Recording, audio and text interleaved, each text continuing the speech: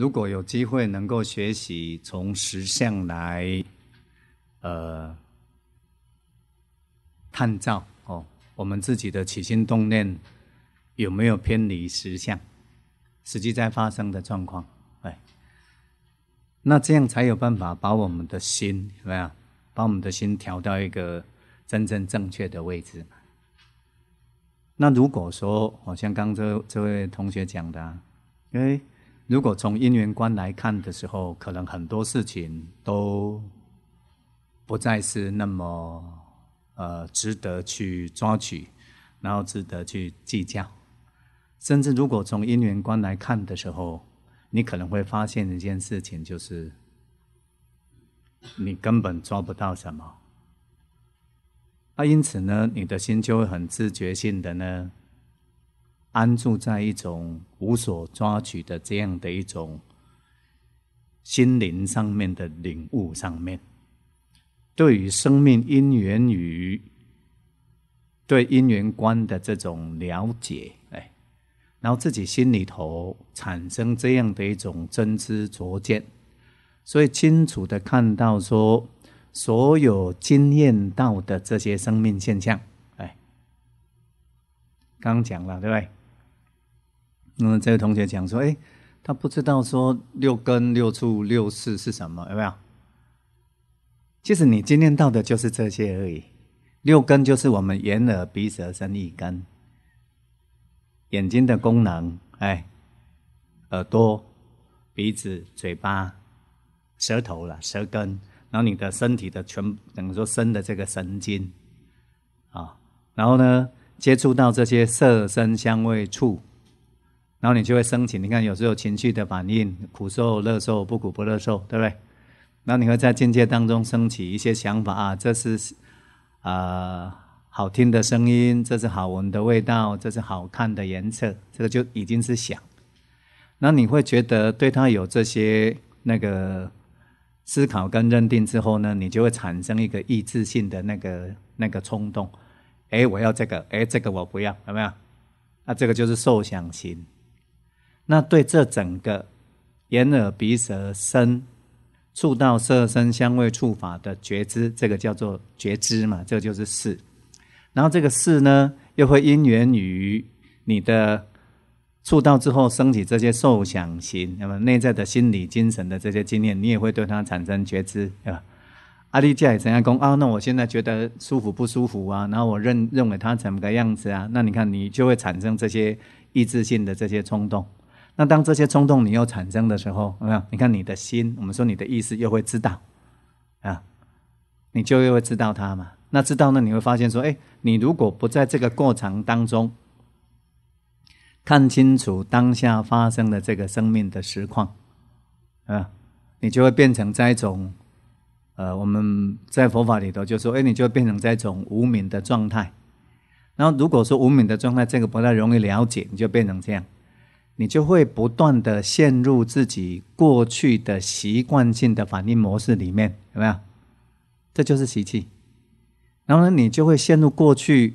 这种习惯性的反应模式当中呢，然后又在原本是当下的事情，那你没有如实觉知到当下的这样这个发生的整个因缘的条件，完全会完全根据自己的过去的这种反应模式，直接就又投射出来，啊，所以就会变成怎么样？会一直活在过去的经验里面，对。那所以如果说你看。如果不清楚说到底生命是怎么样在发生的，其实就会过在一种活在一种好像那个我们说那个梦里面，哎，因为你不清楚生命怎么样在发生啊，所以呢，你以为它是这个样子啊，但是其实它不是这个样子。比如说我们这样问，对，你看你的生命经验是什么？你的生命经验是什么？列细命经验是下面，你觉得？对，怎么会很难呢？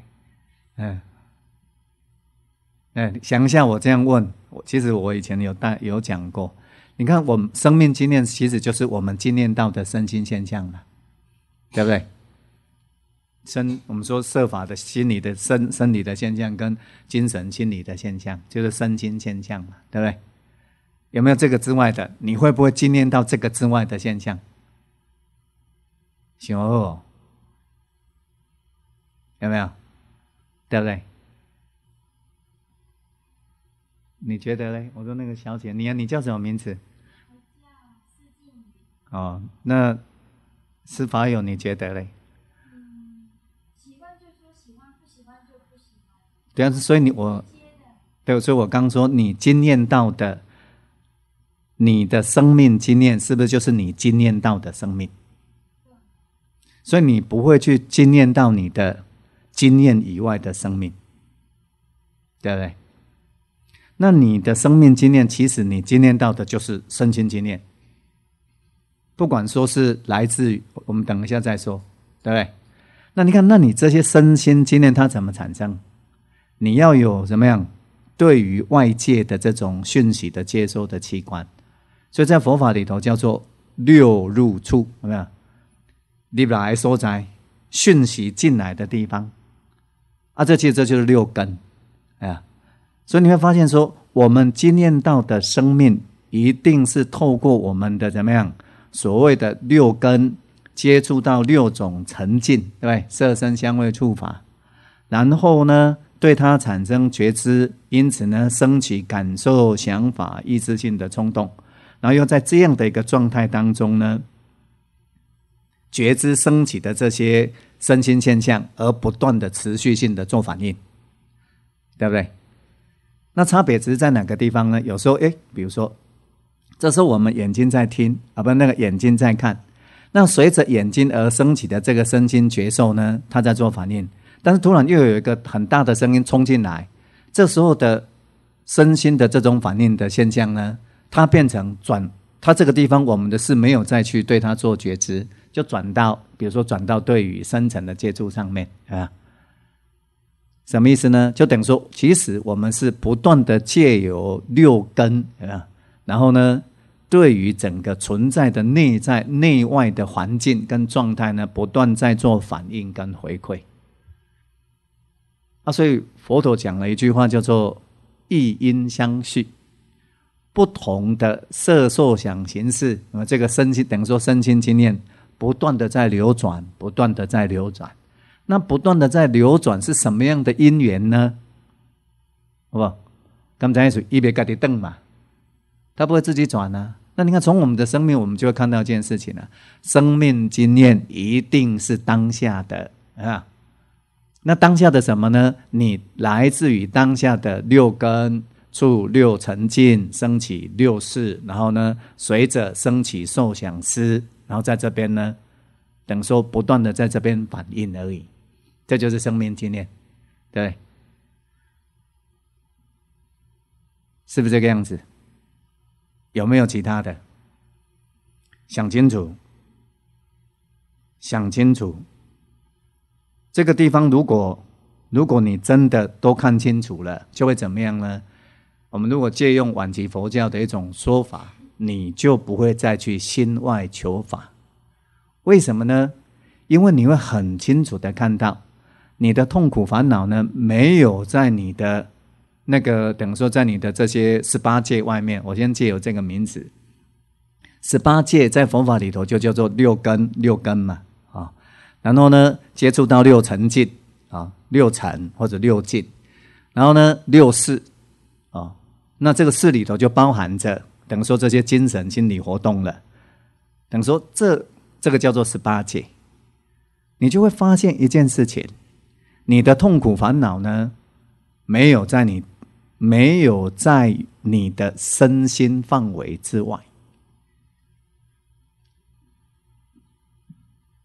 这会很困难了解吗？你也痛过烦恼，不？你也痛过烦恼，没有在你的身心范围之外，你的身心范围之外会跟你有什么关系呢？这样对不对？好了，那那再回来了。那是什么样的因缘？有没有让这种痛苦烦恼升起？是不是一定是六根住六沉静，生六世，受想思，有没有？都是在自己的身心活动范围里面呢，对？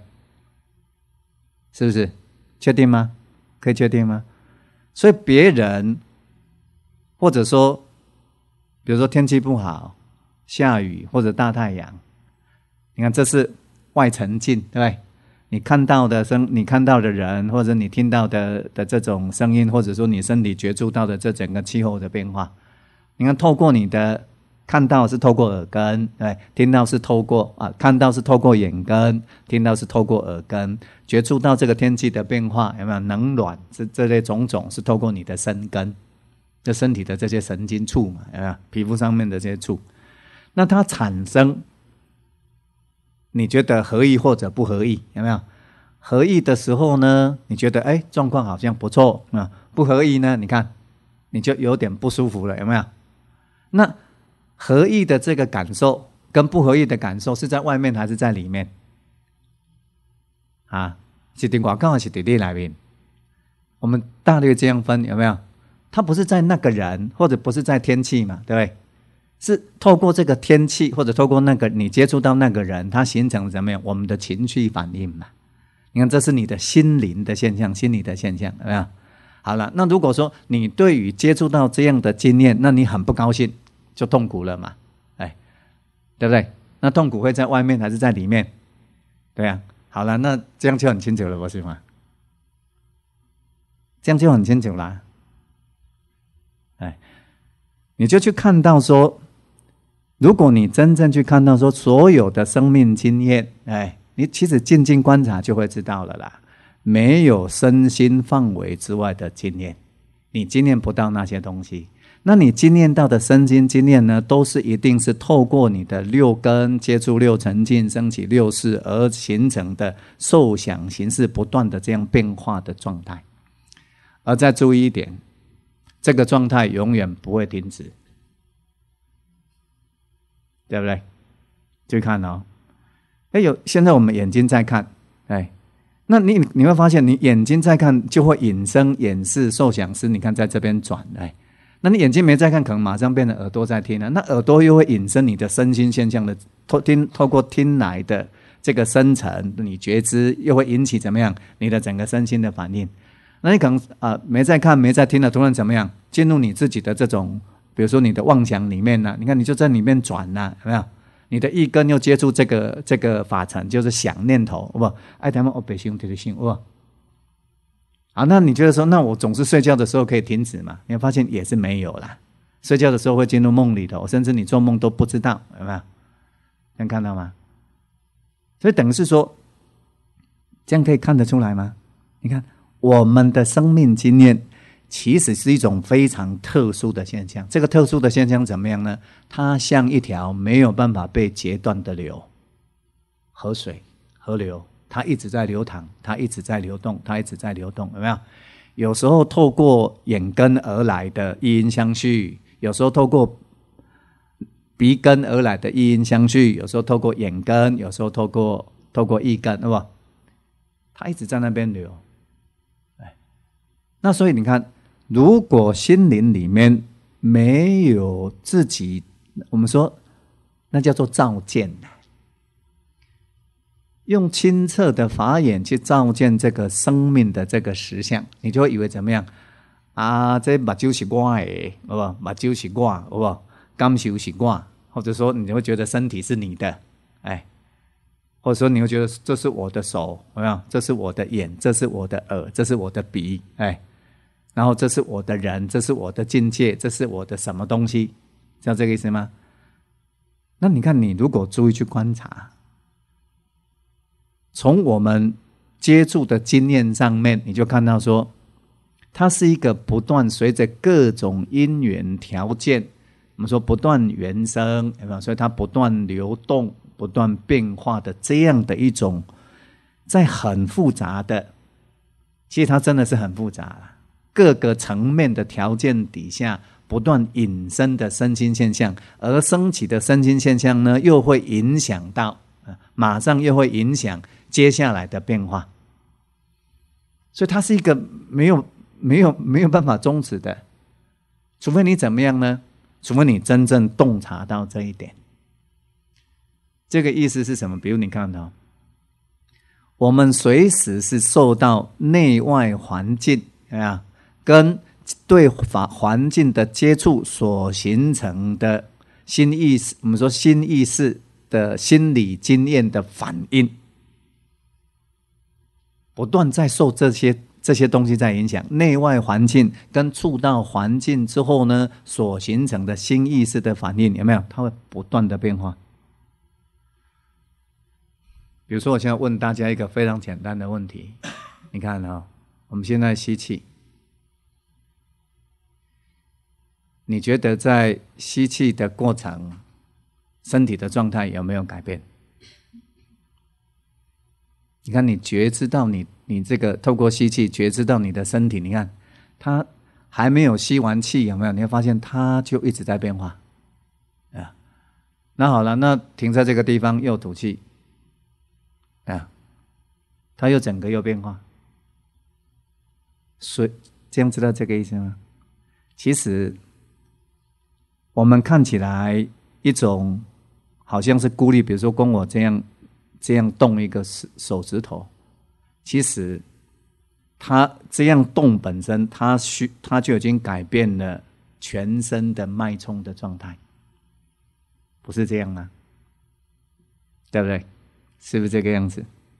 啊，那你再看，吸气进来有没有改变这里头的空气的密度？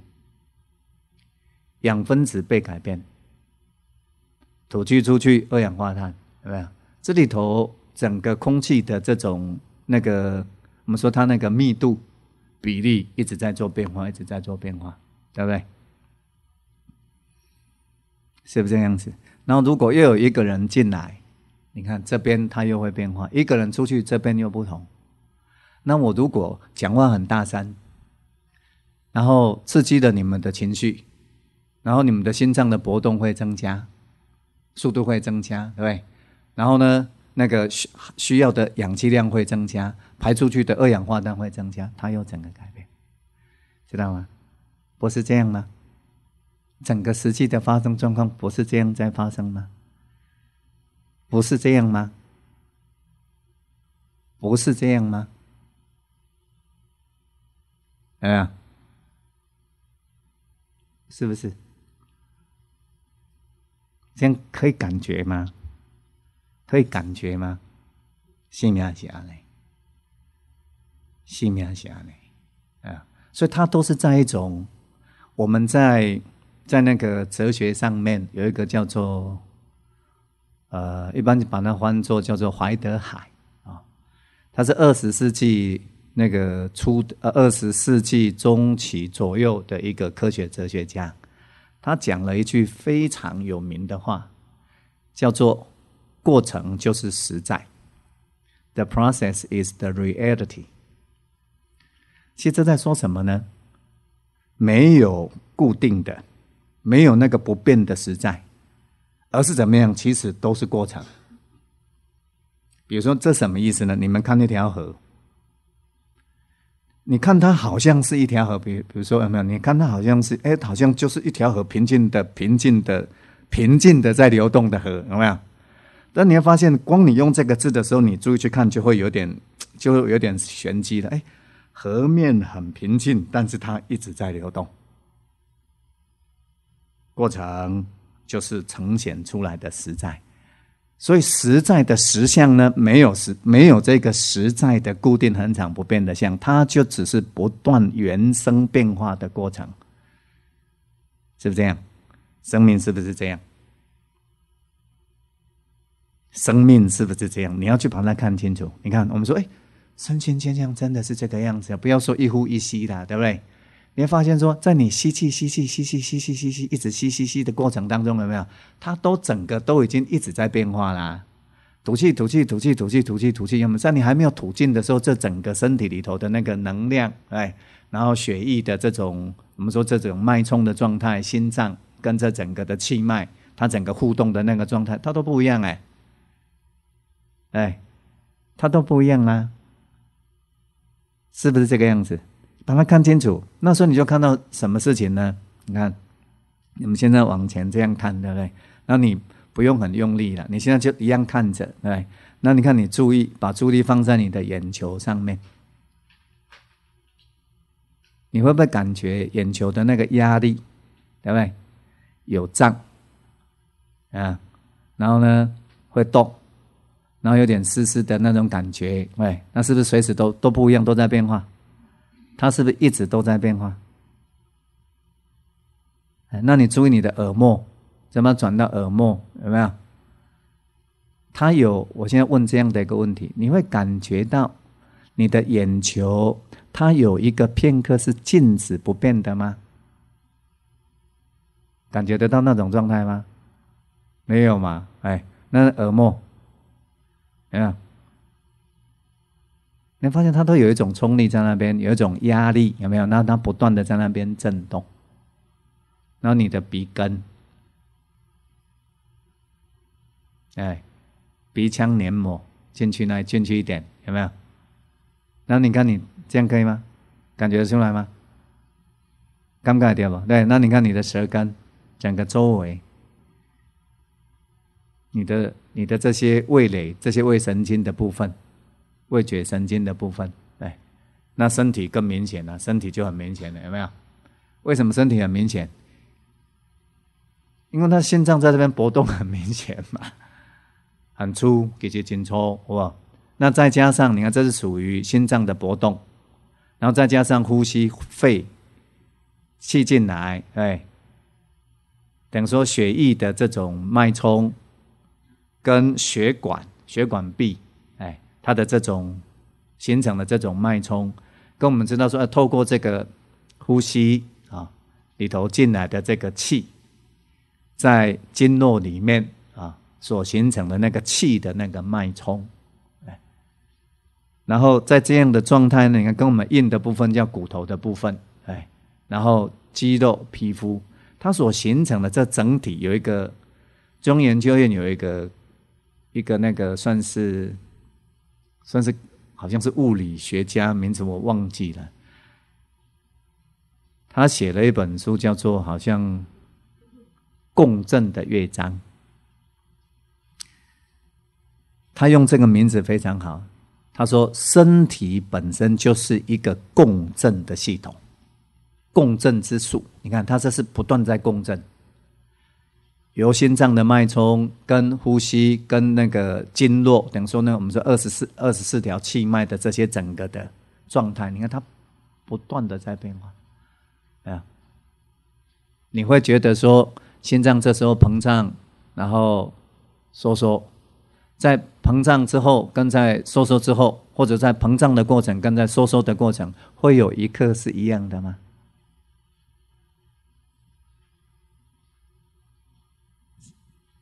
会吗？这样清楚吗？生命就是这样，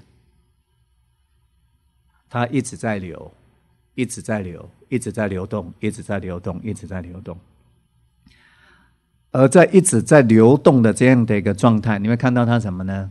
它就是随着，比如身体里面，我们说四大的比例，对，有四大的比例的问题，就所谓生根，哎，然后形成我们对于这形成的身体的这种觉触上面的反应，这个叫做促成或者促进，哎，那对这样的状态觉知，有没有？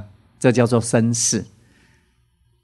六世里头的身世嘛，有没有？那时候你看，我们你如果这样仔细，对不对？方师兄这样对不对？在完全没有任何脑袋的预设的前提底下，直接去观察，直接去感觉，你看，这就是生命。啊，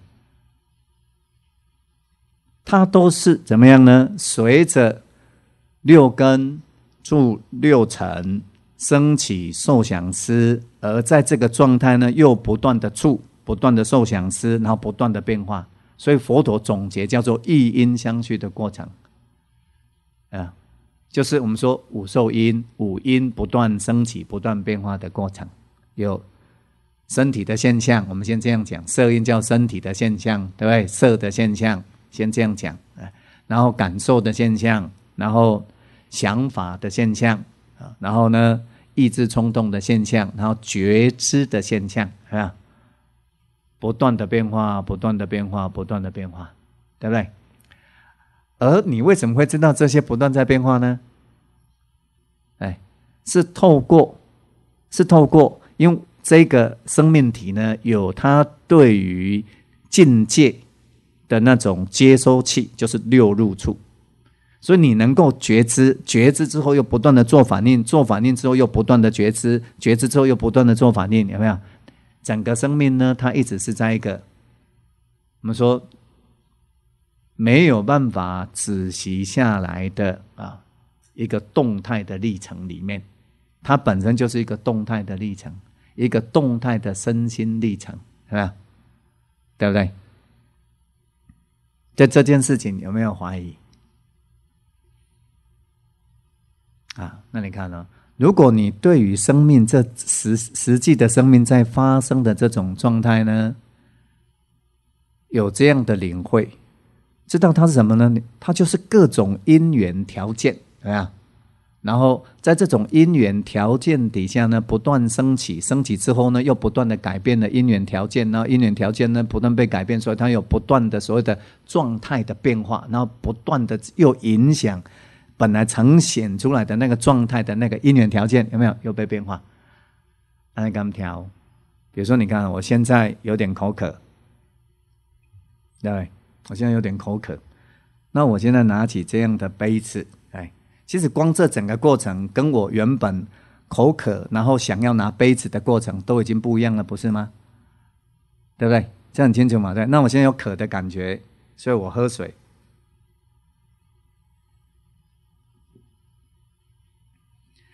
那你看，我原本渴的这个感觉，当我喝水下去的时候，那个感觉是不是就被破坏了？被我们说被改变了，有没有？是不是这个样子？那我因因为渴，所以我要喝水，所以这个渴因源于这个喝水，它就被破坏了，对。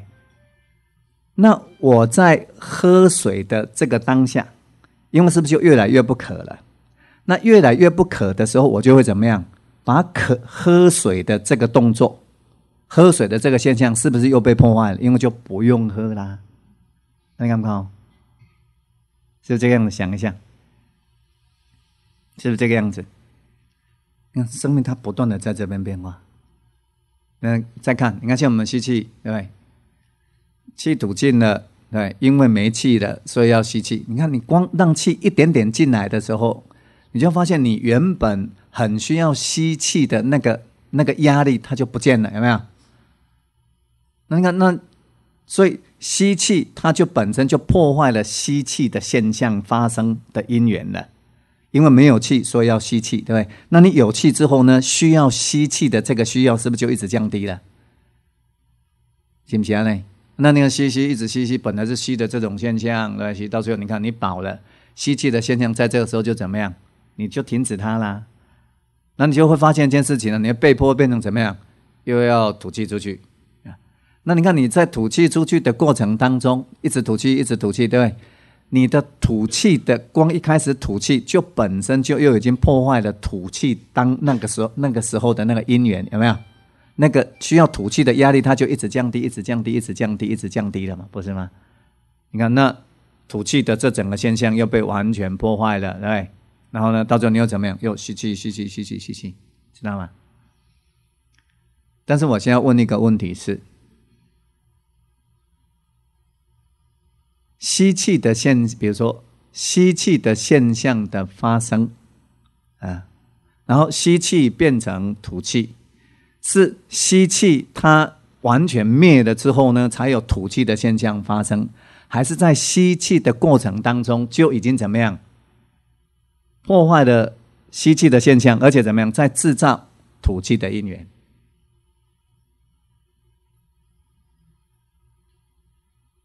对不对？是不是这个样子？所以从这样的一个过程，你看到一件事情是什么呢？生命它其实是一种，这边其实真的是很难讲啊。就说有时候那个在文字上面真的很难讲，因为你在吸气的，我们表面上看是一个吸气的过程，对不对？但是你看你在刚开始吸气的现象发生，它不止影响你的肺诶，它也它是影响你的全身里头的。我们说从这个气的这个气的这个现象来看，它是影响到你全身的这个氧分子跟二氧化碳的比率，哎，那你氧分子跟二氧化碳的比例会影响到你整个怎么样？你里头血液里头的那个含氧量啊，那你血液里头的含氧量，它会影响到你整个心脏的那个、那个、那个脉那个搏动的问题啊。那你整个心脏搏动的问题，会又会影响到你这个血液在你的血管里头的脉冲啊。哎，那你这影响到你血里头里头的脉冲，影响到输送啊。然后你看，它又影响到你的五脏六腑啊，啊，知道这这样知道这个意思吗？我的意思是说。我们本来以为说感觉到那种所谓的局部的那个现象，其实它不是局部的。那是因为我们意识注意的焦点那个 focus 有没有？哎，看安尼俩，看安尼的就是以为它是孤立的。哎，吸气是一个只是一个孤立的现象，不是。吸气从开始，哎呀，从一开始，然后到吸气的结束，到转成吐气，然后到吐气的结束，这样的循环从来都不是孤立的。你看，它整个全身的系统都被改变，都一直在改变当中，有没有？这样对不对？好，那你看你在这样一呼一吸的过程当中，是不是也改变了整个外在的外在的所谓的四大的这种比例？有没有？那你认为？哎，你看，你认为说，哎，有一个。好像固定的、永恒的、恒常不变的我，我，你你你看得出来吗？这样能感觉出来吗？这样能感觉得出来吗？啊，有实际的，有没有不断在原生的、不断在变化的这整个的，我们等于说意识觉知到的这些内外的这些身心现象的这样的这些变化。但是你看到它怎都是怎么样？随因缘而生，随因缘而变，哎，啊，它因为随因缘而生，随因缘而变，所以它会怎么样？它这个在佛陀里头就叫做坏法，哎，还可以，哎，所以它怎么样？它是无常的，啊，所以你看，你就知道，所以这个眼球不会是我，也不会是我的啦，知道了吗？哎，在这个身体呢，不会是我，也不会是我的啦，哎。啊，那所以随着这个身心的状态，然后接触到境界而不断的延伸起来的这个身心状态，它是怎么样呢？它就只是状态，好吧？而状态呢是不断在变动当中的。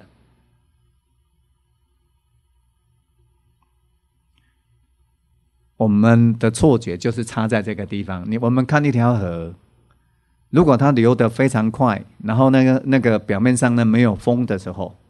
我们会觉得它是静静的河，这就是错觉，啊，因为呢速度太快了，哎，它事实上都在变化，哎，它事实上一直在变化，但是我们会以为它是静止的河水，哎，这个身体也是这样啊，整个生命经验不就是这样吗？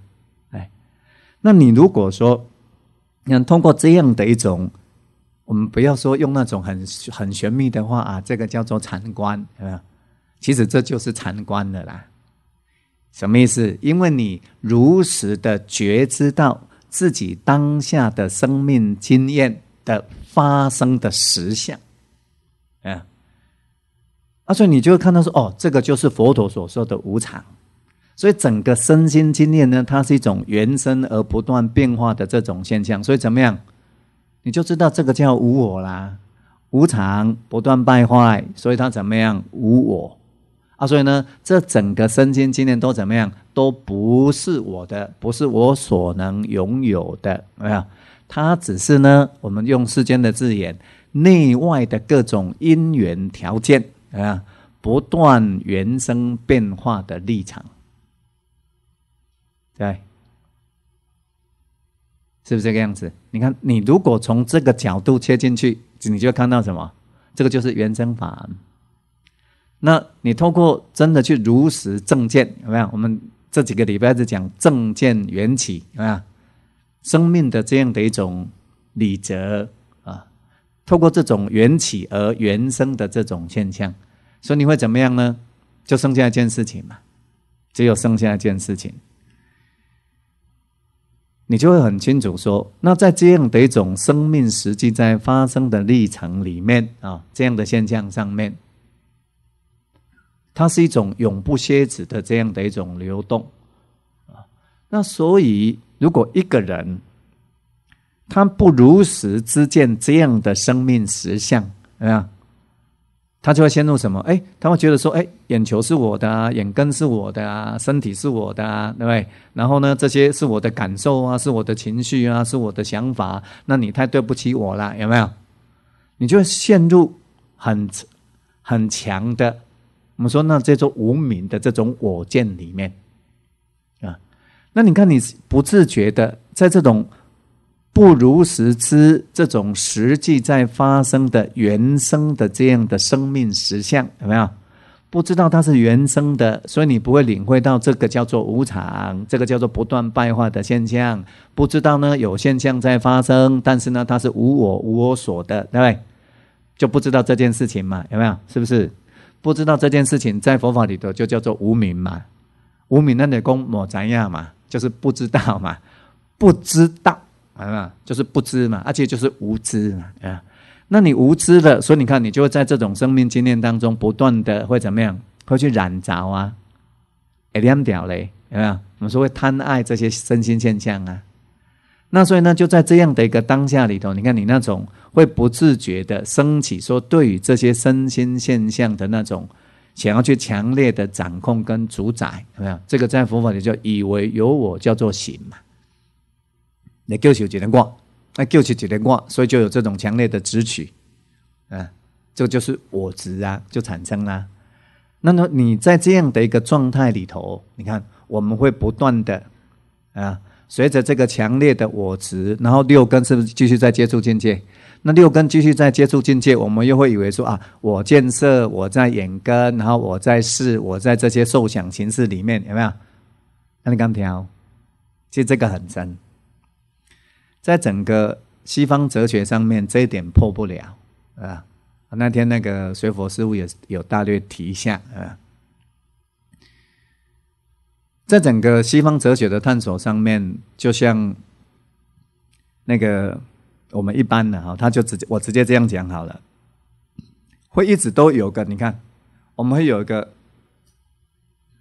自己跟外面的这种分别感，有没有？不管你要不要，不管你要不要，来，然后呢，我们就会觉得说，哎，有一个我，外面是一个世界，我之外是世界，怎么样？有一个我，但是外面是一个世界，哎，所以你经验到的，你会这样说，是我经验到的世界，我经验到的这个世界，哎，等于说一直都会有这种自我跟世界的这种分裂，这个叫做二元对立嘛，啊，所以呢，西方哲学里头，他没有办，一直没有办法突破这个自我意识。那你说，那这个自我意识怎么来的呢？其实是这样，有人讲，有人开那个亚当的玩笑嘛。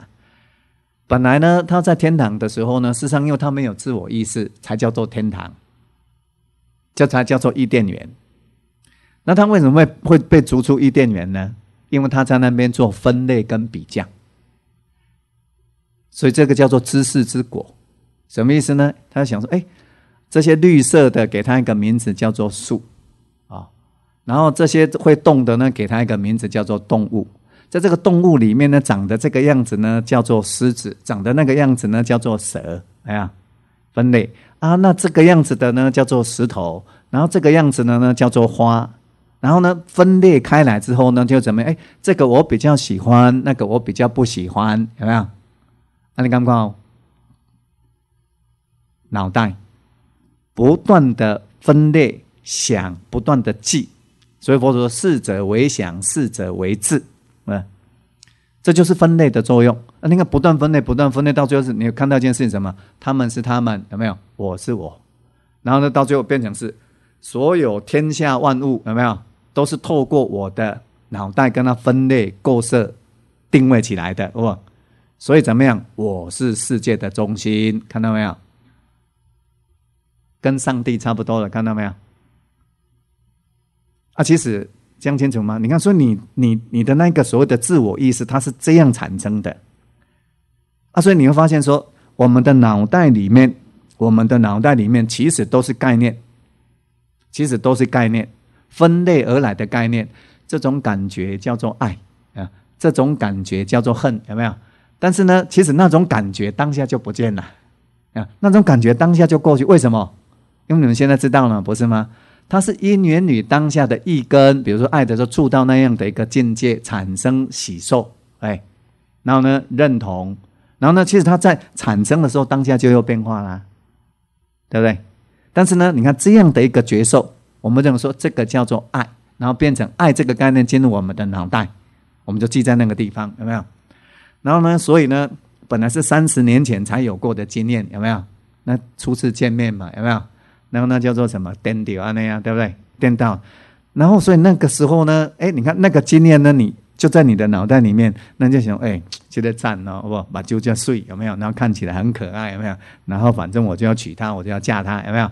但其实那个经验已经不是你在想的经验了，啊，那是你的想，而不是当下的经验。但是我们会因为这个想有没有？喝啊，这个包了有没有？所以就结婚了，对不对？哎，奇怪，结婚现在怎么不到三天就很奇怪了，对不对？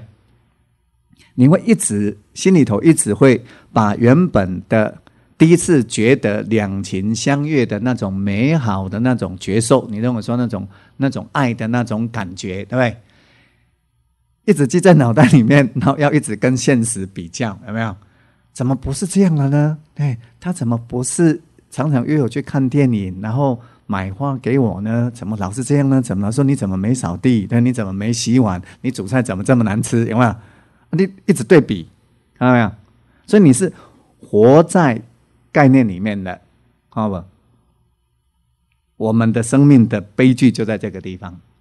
所以整本字典，我这样讲彻底一点好了。整本字典就是你的脑袋。你看里头那些字。我们都活在这些，我们活在字典里面，有没有？你看，我们我们活在字典里面哦。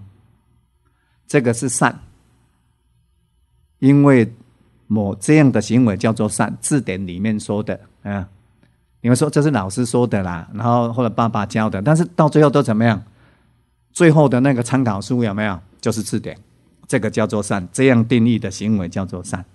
啊，所以呢，你看，你活在你的脑袋里头这样善的概念，如果别人的行为不符合你定义你的概念里头的那个状态，有没有？你就会称为它是恶，有没有？那一称为它是恶的时候，你看你恶，所以出到这个境界，你认为它是恶，这是想而已，对不对？马上升起你的情绪反应，你会抗拒这个恶，有没有？所以你看那个苦受升起，行会升起，冲动会升起，啊，先看到吗？我们就是活在字典里面的世界，而不是活在真正实相里面的世界，知道吗？有没有？是不是这个样子？好了，那你看，那所以你如果把这个参透了，就很容易事情就会很清楚啦，啊，所以把这个脑脑袋里头的这种概念化的这种。特性，然后这种机制、自觉性的，它变成怎么样呢？它是一种工具，很好用的工具，有没有？比如说沟通的需要啦，有没有？就像说，哎，我们要学会开车，有没有？那你要学会开车之前呢，他通常给你一边怎么样开车的那些那些技术指导嘛，有没有？就像我们这种电脑白痴，如果开始要学电脑，对，一定要怎么样？按这个键叫开机呀，按怎怎么样？有没有？你一定要那个手册，那是方便在运用那个工具。那所以事实上，我们的大脑的运作它怎么来的呢？那那天那个水佛师傅讲的，这个是人类人类学研究的定论，是基于人类在生存上面的需要，所以他会不自觉的怎么样做分类归纳。啊，不，一告诉人就拍供嘛，就拍处理耶。你看，就像说。嗯，我们如果有没有不会分类啊，把佛像跟麦克风分不清楚，比如说啊，你做做做古业古业，你会发现什么一件事情会天下大乱？那叫做什么呢？思绪。我们这样讲是开玩笑，对不对？思绪的时候是很麻烦。比如说，你看在原始人的那样的生活里面。他一定要看到什么？他要他要做很多分类，什么样的状况是好天气？这样的天气下去之后会变怎么个样子？他生存上面非常需要。哎，看他要去找水，什么样的线索？但什么样的状态？哎，他就能够找到水源啊。然后呢，比如说，那他要随时生活在这种危险的环境里面，他要随时知道什么样的工具是可以运用的。碰到什么样的危险的时候，他可以躲到哪边去？啥意思不？阿丽娜进前好不？阿东。轰嘞轰嘞，哦啊！你把那个，比如说你不你不知道说，哎，这个如果啊遇到那个凶猛的野兽，哎，是需要拿比较长的木棍，哎，你才能够去防御。那你把长的木棍跟那个面条分没有分类，那狮子冲来的时候，你拿面条有用吗？叫这个意思吗？所以它是在整个。生存的过程当中，因源于生存的需要，所以它必须要对这整个大自然的环境有没有不断的做分类，然后它要在这里头分类出什么？哪些状况是对我会有利的？哪些状况对我是不利的？而且他要再进一步分类，哪些工具对我是有利的？哪些工具呢是可以不需要的？在什么样的时候要运用什么样的工具？有没有？然后再来哪些种子有没有？哪些种子什么样的菜是？是在什么样的时节里头在种的，好不？一随时要得的分类耶，那是因孕因因孕于生存上面的需要，然后会再来啊。你看，透过他的生命经验，他又会再分类。那都得这款人的时阵有没有？难雄厚的下嘛，就好像看到一只狮子，他就准备做回应，有没有？那他的回应不是在当下，是在他原本过去的经验概念系统里头所设定的分类。有没有？所以，我们人其实大部分的人，大部分的时候，绝大多数的时候，都活在这种概念世界里面，啊，都活在概念世界里面。那我现在在讲讲进去了。你看，你这些概念世界里头，我们的感觉、我们的情绪也是不断的被分类，好不好？这样的状态叫乐受，这样的状态叫。忧愁这样的状态叫悲伤，这样的状态叫喜受，对。但是其实呢，你曾经经验过，但是呢，你经验过的东西就变成你的概念啊，所以你会怎么样呢？你会常常在想要去经验那种你喜欢的那种觉受，然后如果呢再去经验到了，你看你就又有更更高兴的那种那种情绪升起。那如果你经验到的是你概念里头你原本经验过的不喜欢的觉受，有没有？你看你会抗拒，嗔心会起，啊？那你敢不敢？所以你没有等于说到最后会变成一个什么样的状况呢？你的大脑，我们的脑呢，会变成我们生命经验的一个过滤器，所以变成不是真正活在生命经验里面哦，是指我们的经验都被我们的大脑给拍过呀。所以都是活在我们的概念系统里面，然后在这个概念系统里面呢，你会你会发现它很多东西有一金刚臂棒，有没有？这这样的事情才有价值嘛？这样的事情没有价值嘛？价值没有价值，你看都是你的概念，但是你的概念呢，它会影响你实际上面的经验的发生。你会做选择，会做诠释，有没有？那随时在又回过头来影响你的情绪，看到没有？所以，我们一般人这样看到吗？我们一般人真的就是活在一本字典里面啊！所以，那个、那、那个字典是什么呢？其实就是我们说的，那是一个概念构筑、虚构起来的那种世界而已啦，啊，是不是这个样子？啊，那你看呢？那所以在这样不断分类、不断概念化的这样的一个过程所构筑起来的世界，谁在构筑的？我啊，你就以为有一个我啊，有？没有？所以你看到没有？就变成有一个我跟着你构筑起来的这个概念的这个世界里头，你看，这个是我，那个是世界，二元对立出来了，看到没有？所以你自己呢，等于说我们这个自我意识呢，它事实上是不自觉的从它怎么样，不断在对世界做分类跟概念化的过程当中，就怎么样自我疏离了，知道这个意思吗？从实相里头梳理出来了，信不信呢？听好不？这就是这个就是很深的东西，这个叫做亚当为什么会被逐出乐园，知道吗？这样看到没有？一定失，一定失去乐园的，因为你没整个世界是怎么样？实际在发生的状况，它没有办法配合你的概念呢，没有没有办法配合你的概念底下所形成的好恶啊。实际上不是这个样子啊！啊，所以你看，你的你的乐园就消失了，哦，这样知道这个意思吗？因为它不再是活在一个。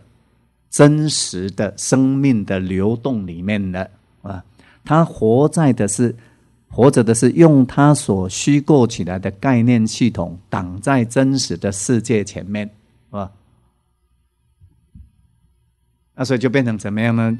就变成说，好像我们用一种，比如戴着这个眼镜，有没有？而且是怎么样呢？深度的黑色的眼镜，然后呢？想要看到阳光一样，想想清楚啊！戴着深度的墨镜，然后想要看到阳光，知道吗？你除非把这个墨镜拿掉，不然你会发现一件事情，你都会不安，因为你在黑暗的世界里面没有办法看到光。那因为没有办法看到光，有没有？那所以我们怎么样就就出问题了？你在这样的自我意识的这的这种状态，其实就是什么？这就是一种根本的不安呐。所以这就是一种存在性的焦虑了。你老公对天涯来讲，这就是存在性的焦虑啊。所以呢，那你在这种焦虑当中，你没有办法没有办法自我消融啊啊。所以怎么样？那找一个人来信啊，找上帝呀，有没有？那不然就像我们现在。那个很多朋友这样，那至少要怎么样？知道痛苦，但是呢，好像透过呃佛法的这个系统里面，哎，开悟了之后就可以没有痛苦，有没有？就可以停止那个不安。所以怎么样？早开悟啊！想哎，怎么那个这个比丘会开悟，那个比丘会开悟，有没有？然后就去找啊，就像两千五百年前的悉达多一样嘛。他原本就是活在他的概念世界里面。所以呢，他痛苦不安。那他因为他痛苦不安，所以去修学，然后去找寻有没有生命的就近的出路嘛？那后来他终于发现呢，哎，那所以才留下这我们说在《阿含经》里头的这种他觉悟之后的这些种种的教法嘛。好，那我们先回到那个地方。我刚讲了，西方的哲学。他一直没有办法突破这个自我意识的这个盲点，知道吗？所以前跟大家讲说，我把六七本、六七百本 哲学的书都送人，就是这个原因。这个问题在我哪时候就解决了呢？在读《杂含经》的时候，有一篇经文，阿难跟他的那些同学说：“哦，那个好像是富罗那嘛，哈，教他说，在六根促进的时候呢，会怎么样？”生法即是我，那我们用很简单的话来讲，就变成这样：在生命经验产生的时候呢，你不自觉的就会产生自我意识。所以，眼睛在看的时候呢，你会怎么样？以为我在看；耳朵在听的时候，你会以为我在听啊；鼻子在闻的时候呢，你会以为我在闻。其实，所谓的这个自我意识，它是这样发生的。但是我们如果在这里头再做更理性一点的分析，你就要发现一件事情了。哎，那如果没有根促成，没有事，三者不合合处，没有这个生命经验升起嘛，对不对？没有今天生命经验升起，会不会有自我意识啊？会不会？没有生命经验升起，会不会有自我意识啊？你看不敢点头，对不对？其实是叫你简单的代志啊。有生命经验不断的在发生，这是我们会经验到的，有没有？但是如果没有这些生命经验，就不会有这些，没有这个自我意识啦。你也总共尴尬不多三千啊，哎呀！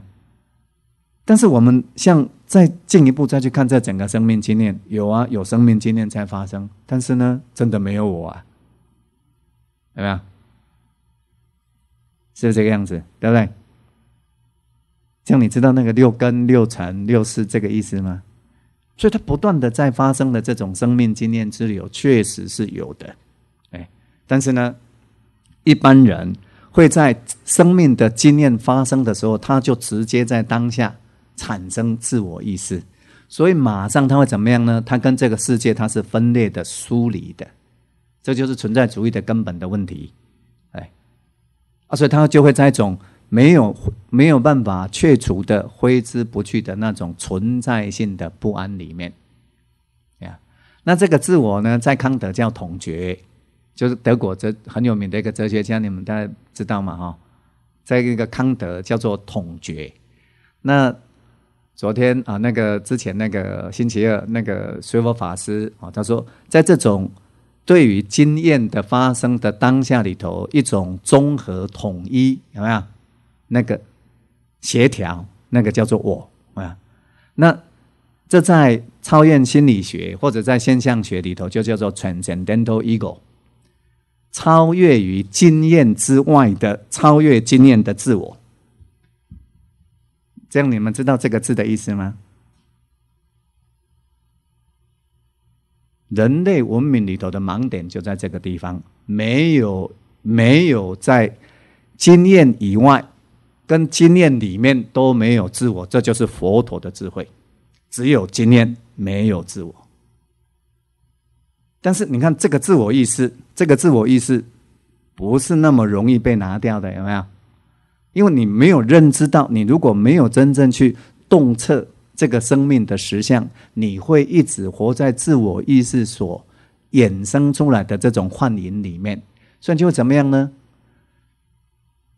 会变成说，你构设出来的，你曾经经验过之后呢，构设出来的这个概念肩架，这个概念系统，活在这个概念系统里面，然后会怎怎么样呢？找不断的跟过去的经验相融，而且会带来快乐的。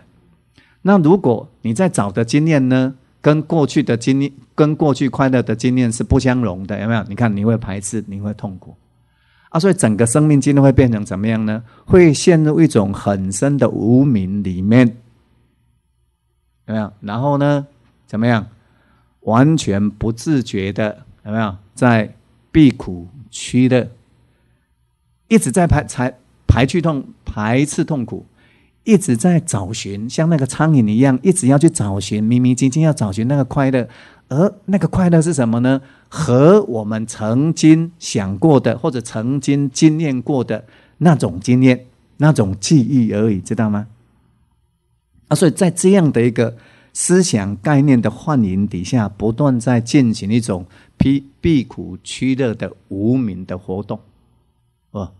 那你看，你不断的在辟谷区乐，所以你看你会有不断的那个冲力啊，不断的那个冲力，不断的在升起，不管是抗拒有没有抗拒现在的，或者在追逐未来的，那个就是一种生命无名的冲力嘛啊。那在这个过程当中，啊，你看看出来，你的生命经验就会被你这股不自觉的无名的驱力怎么样，做一个很大部分的决定。一定要起得京东来驱力，这叫做流向。你得对这个弘扬，哎，对对对这个弘扬，有没有？有些人的经验，比如说他透过他的生命经验，哎，呃，比如说，哎，绘画可以让他带来很大的那种喜悦啊，那他就往这方面去追逐。有些人每天看着红色跟绿色的数字的，有没有？他会带来他的快乐啊啊，虽然常常那都那个常常会绿的满眼，对不对？但是呢，他他曾经有过那个满盘红的那种经验，对，所以他还是会在追。我听我，男女之间也是这样，生命经验他就这样。而且在这种无名底下，对于曾经有过的生命经验的这种爱欲跟执取，不，他就不断的自这样看到吗？不断的在形成我们的业力跟业报，是不是这样？看清楚哦，那。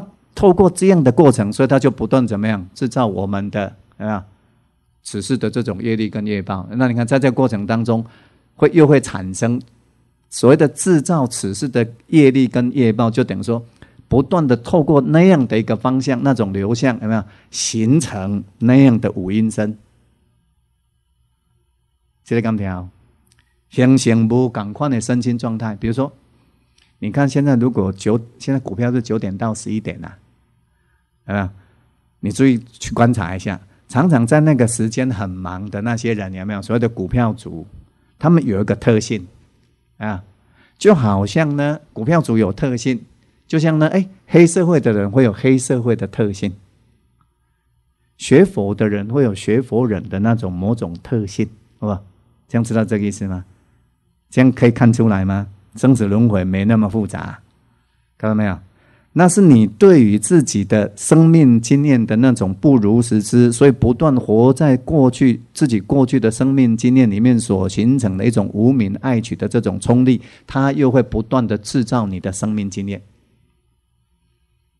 哎，那在这个生命经验就是叫做十八界啊，眼耳鼻舌身意根触色身香味触法六尘境，对不对？升起六识，然后原生受想思，对不对？就是你的五受因。哎呀。啊，所以要真的了解这一点，哎，你就就会知道生死轮回是怎么一回事嘛。那你看呢？如果你不知道这件事情，你对生死轮回会有什么本事呢？你没有办法驾驭它。哎，你一般我们说连在这种人生境界里面，有没有？都会变成被那个戒，这就佛陀里头，佛陀原始佛法里头讲的戒，去得改那个境界，那个境界，你就淹没在那个境界里面，成为那个境界，跟那个境界被引申出那个境，去纪念那个境界，对不对？然后呢，又在那个境境界当中形成你的整个身心状态，啊，其实轮回就在这里啦。先知的轮回就已经在这边了，所谓的六道有没有？或者是所谓的五道，这是叠加叠的变啊，是这样的，哎，这样清楚吗？哦，所以这就是因为我们不断的不自觉的活在这种概自我所构设出来的，事实上是虚构的一个概念系统里面，啊，所以呢就没有办法放下。没有办法超越那种存在性的不安，啊，所以这是什么？因为活在无名里面，哎，啊，所以那你如果说如实，我这个如实其实很简单，那一般是不如实比较困难。但是我的意思就是说，其实如实是很简单的，如来是很简单的，不如来反而很困难。但是我们一般不是活在如来境界，我们是活在不如来的境界。什么？因为我们活在概念的世界，我们不是活在如来的世界。有没有？你如果活在如来的世界，它很多事情就很简单了。什么叫做如来呢？你看，一切原生，没有办法仔细，而且这个原生呢，那么就像我们说那个学佛师傅讲的这个样子啊，它是全面的、多面的。而且它在升起的当下里头，全部都改变了。实相是这样啊，你看，你看不到一滴河水的，你看不到一滴河水，你看不到，没有一滴河水，只有整体的流动，有没有？只有整体的流动。那你如果对这件事情不如实知，哎，那就活在自己的概念系统里面呢，啊，所以呢，就会不断的。以这个自我意识的强烈的执取，要全世界来配合我们，是吧？安爱修宽，给咱存起来，对吧？敬爱听咱起来，有没有？然后公司的同事呢，至少对我们要客气一点，对不对？老板要怎么样一点？如果不怎么样就怎么样，有没有？你看，啊，你看出来没有？你看你活在一个。概念的世界里面，结果呢，要活生生的呢，不断在变化的这些这个世界呢，来配合你概念上面的需要。如果那公会的好像那个那个好运气的话，对不对？哎，合意就高兴。那常常不是很合意，有没有？你看，你就在这边受苦。那但你又会发现一件事情呢，好像在合意的当下，事情就又变去了，不是吗？当你的感觉快乐的时阵，快乐已经在咧消失啦。懂你的干嘛快乐的时阵，你的老板他可能又已经又想到其他的事情，搞不好又变脸了，不是这样吗？你看整个它是一个复杂、全面，而且是多层次的一个缘起而原生的现象，看到没有？那你如果不了解这件事情，你看哪里会开悟啊？你哪里会开悟？不可能开悟嘛！你不了解这件事情，就是活在自我意识里面嘛。而自我意识是一个虚构的概念嘛，那怎么会开悟？那你如果心灵里面真的看到这件事情了，有没有？知道怎么样呢？有经验在发生，而这个经验呢，它是随着根尘世和合处而升起的受想思呢，不断的流动，而不断的再去对于受想思不断的经这些经验不断的觉察，不断的原生，不断的变化，里里外外都是这个样子。你看，你真的看到了没有？你看你那个自我意识，那个自我意识，它就没有存在的条件，一个基础的帮体啊。啊对不对？是这个样子，这个就叫做破无明嘛，无明就破啦，因为心就看到那个实相了，啊，是这样了，对不对？好，那你看呢？那你先看到这样的实相了，这就是开悟了。我是什么呀？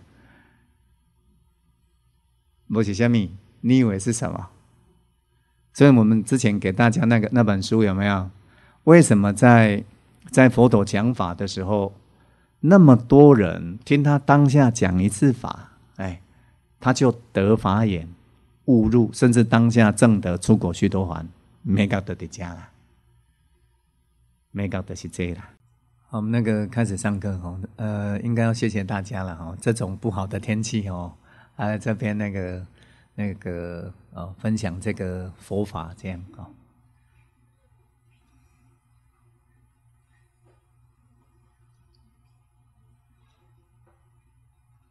这样可以分出来活在概念里面跟活在实相里面的差别吗？那刚那个同学他他说他以前在禅修啦，然后就会想说，哎，让自己呢好像比较静下来，几乎都没有念头的状态，对不对？在气球那个境界，有了有那种方法，我们说那就是修止禅的方法嘛，啊。但是我们刚刚，你看你如果。对我，我刚刚跟大家那个那个报告的啊，分享的那种经验，你看，你如果深入去感觉，生命的实相是随着六根触、六尘境、六识升起而不断的受想思升起的这种原生而流动的过程，实相它一直是这样在发生。那我可能，我可能。说我避开这样的状态，然后呢，让整个心呢，比如说其他的五根都不动啊，不去触。我们修止禅就这样修嘛。你透过一个固定的所缘，让你的心力是不断的圆那个所缘，有没有？然后让你的心就这样安，一直安静下来在那个所缘上面，就像什么意思呢？这边点一根蜡烛，点上去，对不对？然后呢，我把所有可能的吹来的风都隔掉。让它呢有没有就这样，就这样，所以他才有办法这样笔直的这样继续燃烧下去。但是那是什么样的条件？其实要有那个罩子，什么意思呢？哎，所以我要呢耳根有没有不去听，眼睛不去看有没有，身体呢也不去触，或者说有在看有在触呢，你就不要去觉知它，你所把你所有的心思呢都放在你的所缘上面。但是你看呢？你能多久？能多久？能多久？我现在要讲说，不是说这个不好哦。你看，所以他在培育的是什么呢？原本我们很散乱的心，对不对？借有一个固定的所缘，让心怎么样，能够慢慢、慢慢、慢慢、慢慢起止下来，安静下来。那其实，在佛法里头，佛陀也说这件事情是要做的。什么意思呢？让心呢远离克服五盖的那种扰动嘛，你看，你这个时候，你看你心静下来，没有贪心呐，没有那贪心的扰动，对，没有嗔心的扰动，心有力，也不会昏沉，那也不会那边妄想调举，对，然后心在一个稳定的状态。那稳定的状态要干什么呢？你不是说要这样？那你这样要干什么？啊 啊，好，是没有错，大家一般人都这样想啊，没有错。但是你看，你如果一直这样下去，能悟吗？嗯嗯，在佛陀里头是这样说了：你克服五盖之后要怎么样？住四念住，修七觉知啦。所以呢，你等远离了心心的这种扰动之后呢，在一个一心的状态，就是你心很稳定。那你怎么样呢？你就要观察，观察生命经验发生的实相，因为生命经验就是身心经验。身心经验在佛法里头，四念处把它分成四大类：身受心法嘛，啊，那这个身受心法在在那个中阿含经里头有比较，呃，比较嗯，比较割裂式的那种解释了啊。那如果直接讲，我觉得那个随佛师父讲的会比较正确的。观察这个身的现象的发生，其实这个身就是包含着我们刚讲的根尘世合合处的这个现象了，六根处的这种现象啊，所以你心安定下来之后呢，你会观察，你可以在这个时候呢，就像我们刚刚运作的那个样子，你可以观察你耳根耳识的现象怎么样在升起，鼻识的现象怎么样在升起。那这些六六根的现象升起，你内在的精神活动它怎么样在升起？这样知道这个意思吗？是让你的心安静下来之后，你观察，这就是在佛法里头讲的极静禅师。所以极静禅师不是在那边坐着，下面都唔行安内唔行安内吗？啊，但是你心极静，心一心的时候呢，心极止下来，然后以这种。一心的这种定力呢，静静的观察，在六根开放的状态呢，观察实际在发生的生命经验。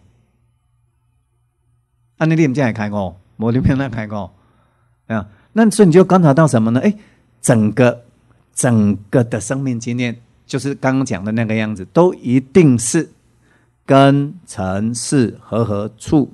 然后触之后呢，生受想思，受想思之后呢，觉察到之后呢，又会对这个受想思产生反应，然后呢，不断的像那个风火轮这样不断的在流转，不断的这样在流转，所以你就会看到说，所有生命经验的发生，它一定是怎么样，要有因缘的，有因有缘，也就是都在一，我们说语言概念只能说一定的条件呐，但是一定是比较难说的，就是那个。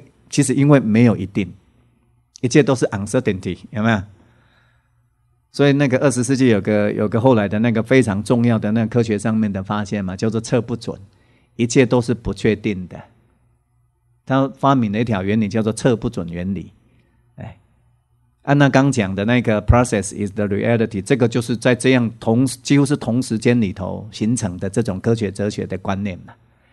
啊，那等好那回来，那什么意思呢？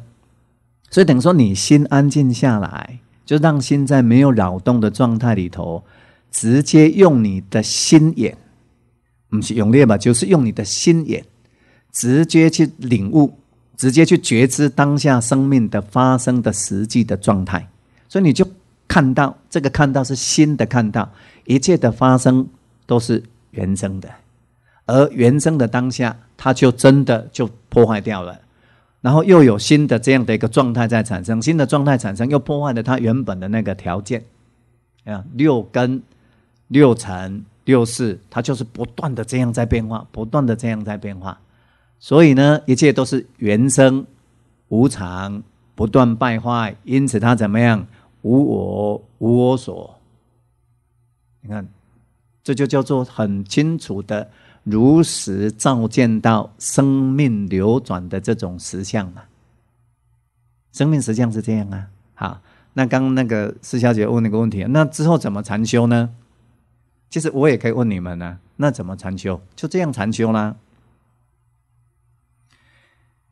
你如实借由你如实的这样的一种经验，在心灵上面产生这样的真真知灼见，确认的生命经验，都是一种原生，然后无常无我的这种现象，哎，所以就出现了。你只要你看哦，你只要建立了这种正见，因此自觉性的在自己的生活上面啊。随时保持正知正念，所以这个正知正念就像你怎么样？就像你原本在心静下来之后呢，带着觉知在观察你六根触境的这样发生的这个状态，什么意思呢？就是带着觉察力在经验你的人生，经验你人生里面的经验去看透它，就好像你在禅师一样，看到它怎么样？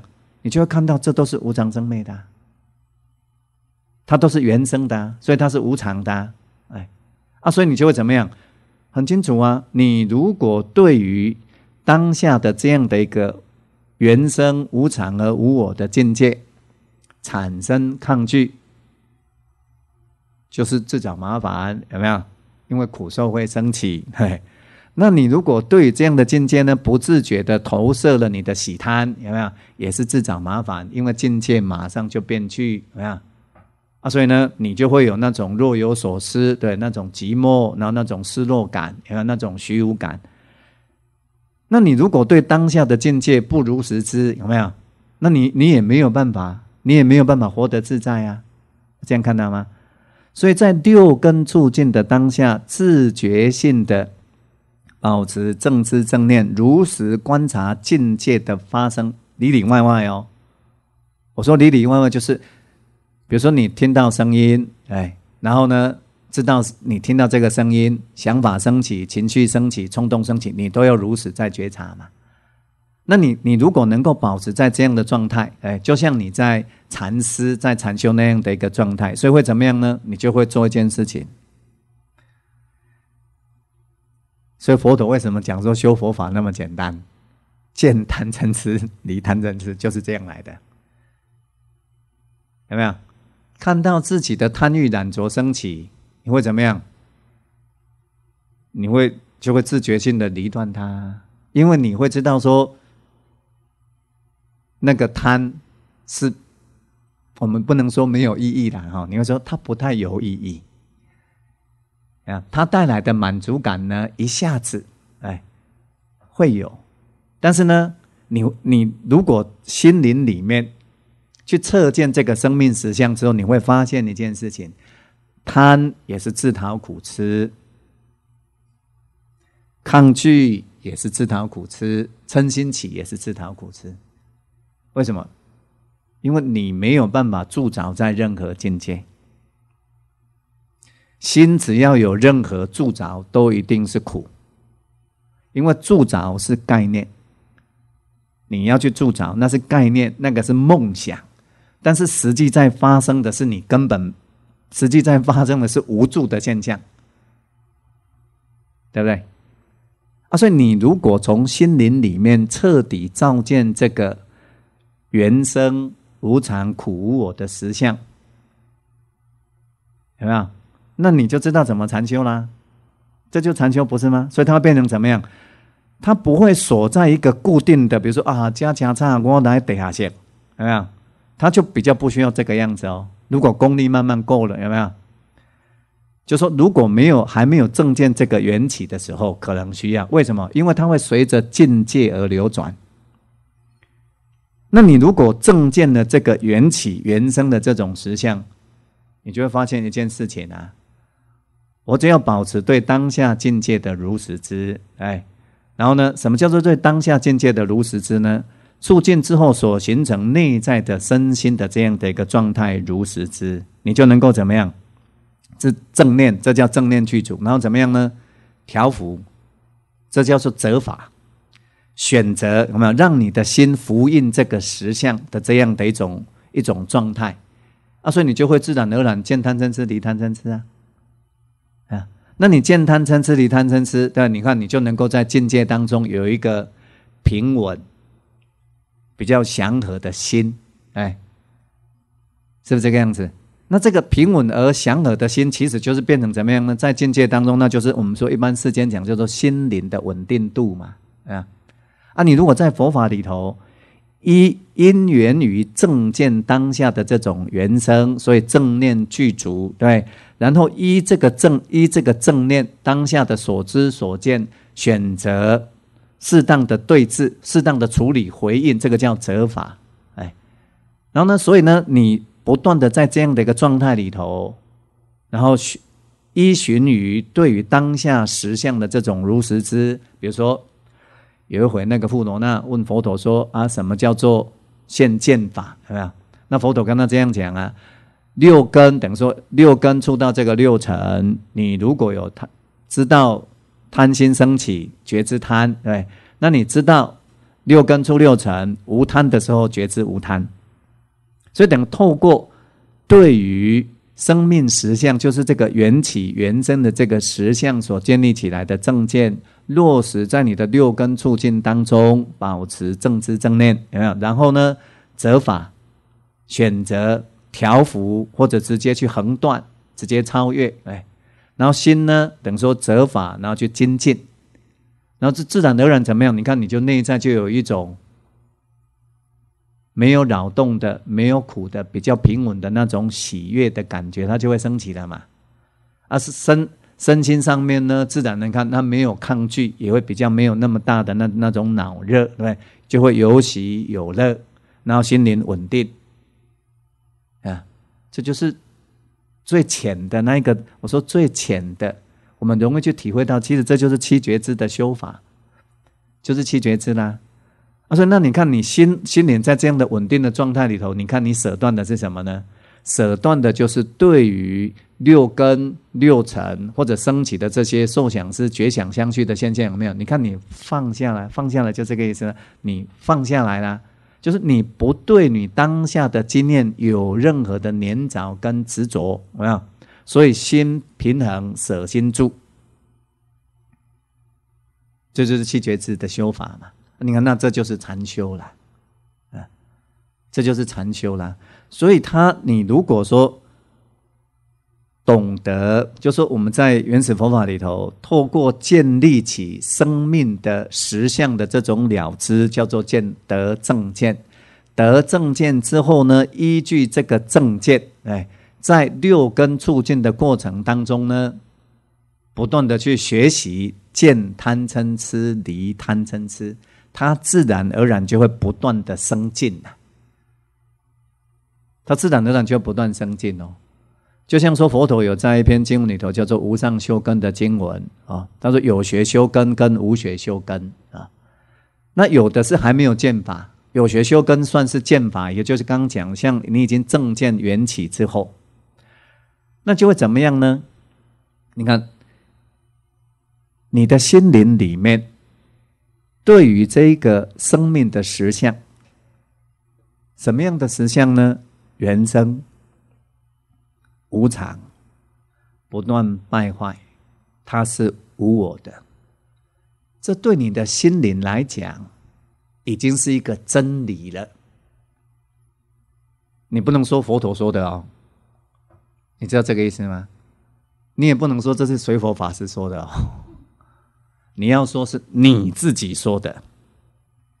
我的意思就是说，你的，因为这是你的心嘛。我们一般就就用世间话就列心嘛。你真的确认到说这个生命有没有生命的现象，它就是身心现象，而身心现象呢，其实它就是因缘于六根、六尘、六识和合处升起的这些身心流转的现象。所以它是怎么样呢？不断的随因缘生，不断的随因缘灭。因此呢，你心里头产生一种很特殊的一种了悟。悟到什么呢？凡有抓取，必带来痛苦烦恼，对不对？那所以，那你你看，你的智慧就产生，其实这就做现观是圣地啦，现证，知道它是一个不断原生的过程，哎，这个叫做苦地嘛，因为它原生无常败坏。所以佛陀在四圣谛里头，他后面生老病死、怨憎会、爱别离、所求不得，他总结叫什么？五阴炽燃，身心像火一样一直在燃烧，所以这个叫见苦。啊，所以那你如果真正看到说生命呢，它是一个身心不断燃烧的过程，所以呢，如果对这个现象不如实知，就会不断的带来生命里头的忧悲恼苦，有没有？这个叫做苦集。因为无名不如实之见生命的实相，所以呢，不断的对于不断燃烧的这种生命经验呢，你没有如实之见，所以呢，你会产生贪爱，啊啊，所以就会苦集。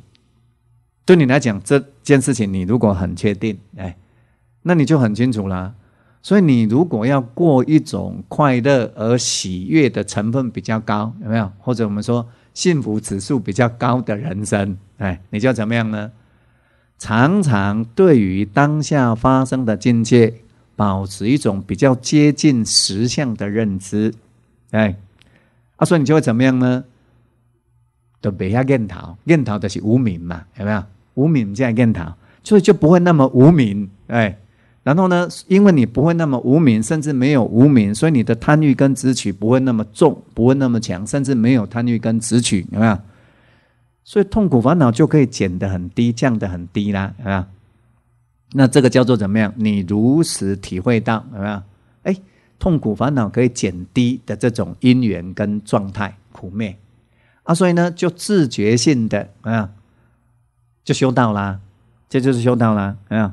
所以你就知道说，在六根促进生命经验在发生的过程当中呢，保持对于这个生命经验的实相的如实知啊，正见嘛，哎，依这个正见，然后你看你当下正思维有没有？因为为什么要正思维呢？你已经有这种原生无常、苦无我的这种正见，所以自己心里头很清楚。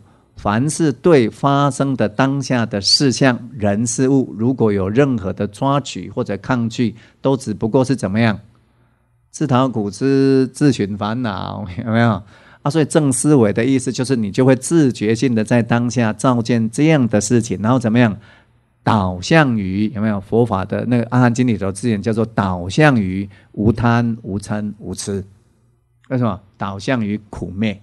所以我们说，这就是一种生命的导向，正确的导向，有没有？那你就因缘于这样的正见，这样的生命的方向，那就会怎么样呢？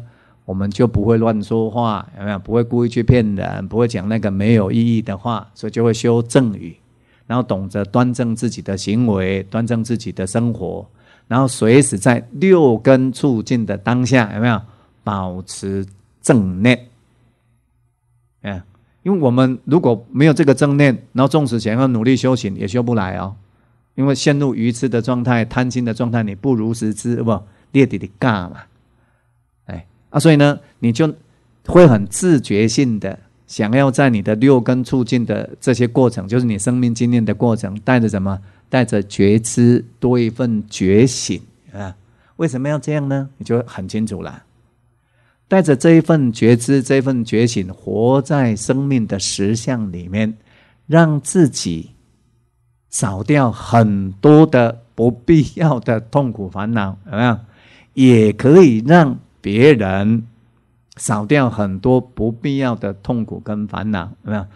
至少呢，你会很自觉的不想要去增加别人的痛苦跟烦恼，哎，这是很至少的，哎。然后再更至少一点的，当别人有痛苦烦恼升起了，你至少可以不会因为别人的痛苦烦恼再去引生你的痛苦烦恼，因为你会发现什么，这都会对你来讲会变得非常的愚痴，啊，所以你看你的生活就有它的特殊的心灵的稳定度，这个就叫做正定，因缘与正见，所以你对六根促进的当下啊，有这种正念，有这种觉察力。所以呢，懂得见贪嗔痴，离贪嗔痴，因此呢，心灵稳定度一直在增上。所以佛陀说，哎，有一种在叫做，比如说还没有证阿罗汉之前，哎，这叫做有学修根。要各位哦，因为我们还没有到彻底完全哦那种那个那个在六根处境啊，那完全的这种不放逸，然后都保持在这种舍心住的这种状态。但是你会怎么样呢？他说，就像说啊，比如说大力士有没有？他看到那个自己有这些不恰当的起心动念升起，然后就像这样而已。大力士呢，我是那个。手背有点酸痛，五十肩，所以我举没有办法像大力士那么快。他就这样，就像他举手伸手，就这样就把那个贪嗔痴灭掉了。虽然有贪嗔痴，对不对？但是呢，就像大力士一样，举手之间就把他就是好像把那个手伸上来，然后这样贪嗔痴就灭了。或者呢，像怎么样呢？像那个我们把唾液吐到那个烧红的铁块上面。吐上去，马上被蒸发。啊，那为什么？这样知道为什么的吗？这不是坐在那边做来的，你有没有发现？不是这样来的，是因为他的心灵里头，透过极尽的禅思，产生了一种对生命实相了悟的智慧。因为一切都是原生，有没有？无常，不断在败坏，这个在佛法里头叫做苦。对，因为无常苦，所以他怎么样？很清楚啊，无我啊，所以也无我所啊。那你就会亲在这里头，它会产生一种，我说一种特别的东西产生，你就会发现一件事情啊，所有的痛苦烦恼都是多余的，而且所有的痛苦烦恼都是自找的，啊，对不对？啊，所以就怎么样呢？知道说一切都是没有办法留住的。我们用的是比较比较那个轻松的字眼，哎，其实这个就叫做无助了。这个叫做无助，在《金刚经》里头不是说无助生心吗？我不是那天不是跟你讲吗？如果没有没有原始佛法的基础，无助生心呢？我来讲骗人的啦，不可能啦。无助生心什么意思呢？你看，你第一个要看到无可住，一切都原生，你要住什么？如果你不如不如实知这件事情，你说你会无助，骗人的，对不对？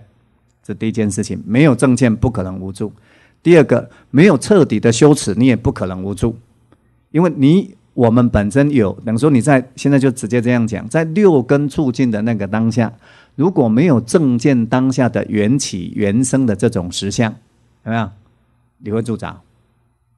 一定会助长，哎，或贪心撑起，或嗔心撑起，啊，所以呢，得了正见之后要怎么样？你看，要修行，要不断的在六根促进的过程当中，像佛陀讲的，住四念处，有没有？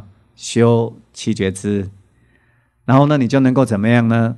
心随时舍断，有没有？就是无助啦，心就能够随时无助，所以心能够怎么样呢？通达明解脱。得阿耨多罗三藐三菩提，这个叫禅修，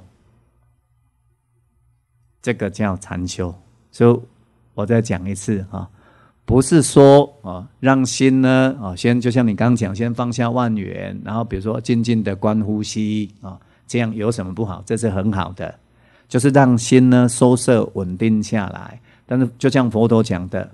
克服那种让心力衰弱的五盖，然后呢，住你才能够在六根促进的当下里头，如实觉知到身心现象怎么样在发生的那种实相，所以才能够住四念处。然后呢，所以你住四念处才有办法怎么样满足七觉知。无你也唔知是这的发生的是虾米啊？所以七觉知的第一个觉知就叫做正念嘛，那其实正念就是四念住，正念当下嘛，啊，那当下是什么？当下是一个概念。我们因为我们用当下这两个字，当下是一个概念。当下呢，用这样的概念讲，你没有办法知道当下是你要直接用心灵去照见。当下就会像阿姜茶讲的那样，静止的流水。那所以，当我们的心没有活在这个当下的时候呢，你就大概都会活在概念里面，就说你没有没有活在如实照见原生原灭的这样的一个实际在发生的这种历程，他会这样。啊，所以呢，我们的习气呢，会在这种无名思念当中呢，它就会带出来。但是你已经有了这种正见了，对不对？所以呢，当它一升起的时候，你会觉知到，就你如果有在修学思念中，你会觉知到，那你会看到它什么？你会看到说，这种攀援、这种抓取是毫无意义的，而且只不过是增长自己跟别人这种生命的苦恼而已。所以你会自觉性的就舍断，也就是因为这个原因，所以建立起正见，有没有？然后你自己在戒，才有办法怎么样？会很清楚啊。所以真的有那种解脱者，像佛陀那样啊，像那些阿罗汉那样，你的心里头就会很确定。所以，请我就常常讲，一定要见法，才有办法见佛。没有见法，不如实自见四圣地，不可能真正对佛产生亲近心。无可能，无法度。你想讲佛祖是迄个，毋是佛祖，毋是迄个。你总是讲有迄迄身，那么迄身嘛毋是佛祖，迄身是一个色身，不断败坏的色身，那也不是佛。你没有办法真正见到佛，因为你看不到真理。佛的心是这种心，你的心没有办法跟佛佛陀的心印心，所以没有见佛。那你如果真正见法了，你就发现一件事情啊，佛陀就是见原生。然后不断的在生活上面呢，见贪嗔痴，离贪嗔痴，所以他正得就近解脱，得阿耨多罗三藐三菩提，苦完全其灭啊！那你就了，你就了解啦啊！所以你看，你见法了，就会见佛，就会知道什么是佛嘛啊！那你看，你这个时候你就知道说，所以我如果哦，我是我们这个世间的用语。要让我的痛苦烦恼有没有逐次降低，甚至到最后呢完全熄灭？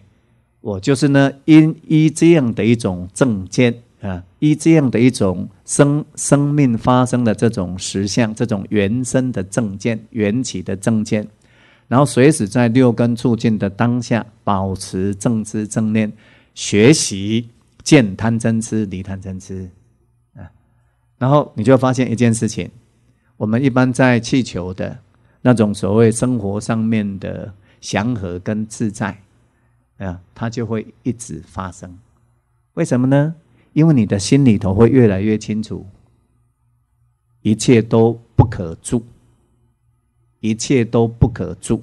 所以佛陀说，你就会知道说，对于任何世间，如果有任何取着，有没有，就会带来任，就会带来痛苦烦恼。取着就是《金刚经》里头讲的住，啊，所以你就怎么样呢？学习过一种无助的人生，不取着，啊，就不会去取着了，啊，这样才有办法无助生心呢，这样才有办法。所以无助生心其实是开悟者他开始在修学的一个方向那那个基础来自于哪里？要先开悟。那你要看到什么呢？不是突然啊见光，或者说怎么个样子？其实，在原始佛法里头，好像不是这样。哎，不是那种短暂的那种特殊的生命经验。我可以跟大家分享一些经验呢，那些经验很特殊的那些经验，我也大概都有过很多次了，知道吗？但是。就像刚刚我讲的，跟那位小姐讲的，你纵使在那样的经验底下，有没有？你不知道它是什么样的因、什么样的缘发生的。那好了，那你原本，比如说以，我原本在那个我们住在阳明山，在樱花树下，状态非常好，对。那突然要那那个时间到了，要跑去跑去那个那个那个吃午饭呐。那跑去吃午饭的那个过程，突然一只野狗冲出来，有没有？然后甚至要咬你，你那个好像开悟的状态就不见了。知道吗？这不见了。